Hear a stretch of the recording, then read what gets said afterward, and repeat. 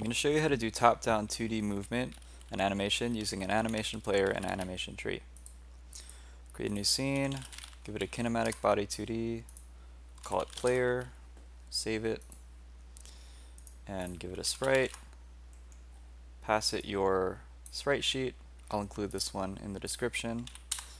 It's got 48 frames, and I'll give it a collision shape 2D as well.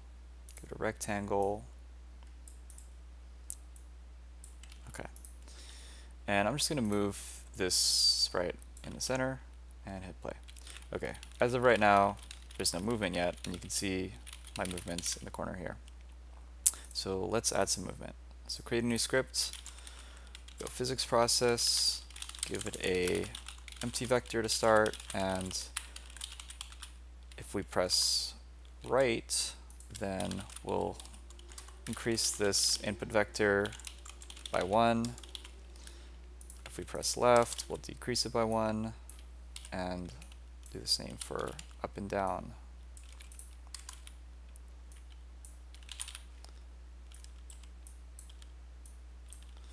Okay, create a variable for speed and move and slide by velocity by speed and then I'm also just going to update the input vector on the screen this is obviously not something that you would do. So we can see it over here. Okay, so we have some movement and you can see the input vector, but one of the problems is that if you go at an angle, you move a little bit faster. So in order to fix that, just normalize the vector like that. And that should fix it. Okay, so we have uh, we have some movement, but we don't have any animation. So let's get some animations going.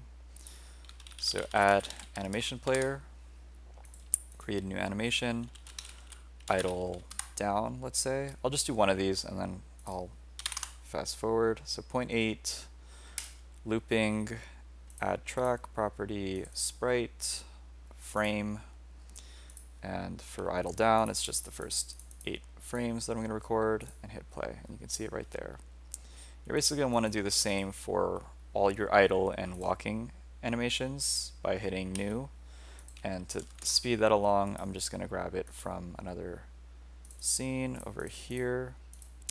And this has all the animations. So left, right, etc. and walking. Okay, so we have some animations ready to go, but we also want to make sure that we play them in the right direction.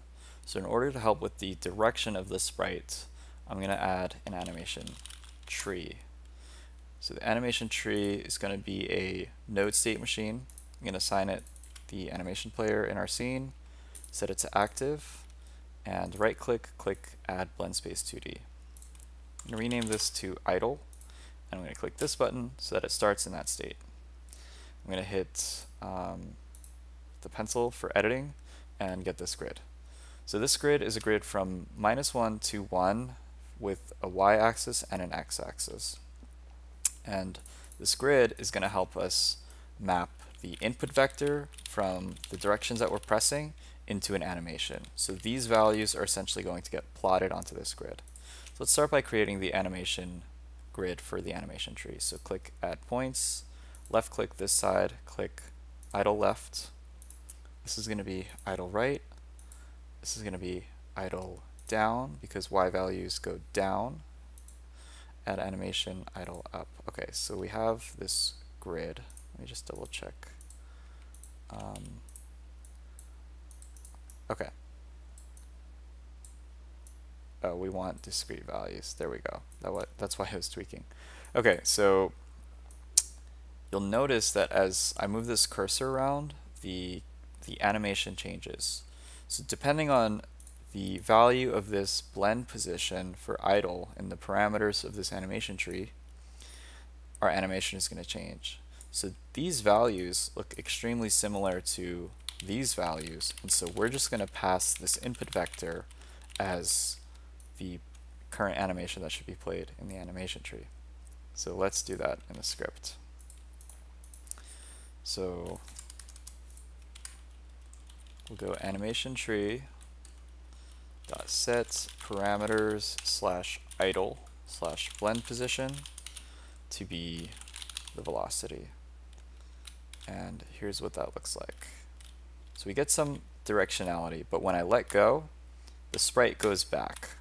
And that's because we're recording a value for the blend position to be zero when we're not moving.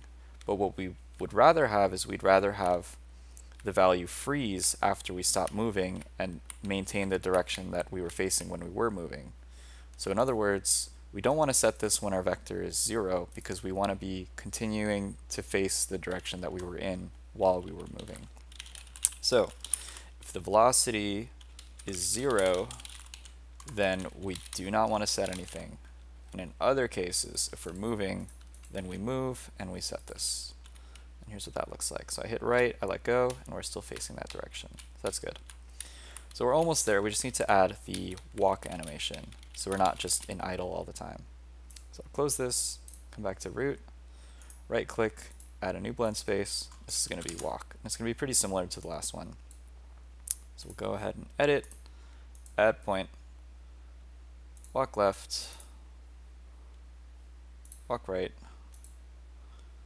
walk up, and walk down.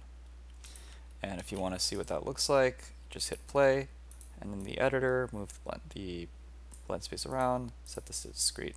Okay, cool. And this also represents a new blend position that we're also going to need to update. Okay, so, oh, and let's go back to root and make sure that we are allowed to transition between these states by adding some transitions between them. Okay, so come back to the script and make sure that we update the second blend position for walk. And now we need to tell the animation tree what, what state we're in, whether it's idle or walk. So when our velocity is zero, we're going to be in the walk state. So you get the parameter slash playback and you travel to idle. Otherwise, we're going to do the same, but make sure we're in walk. Here's what that looks like.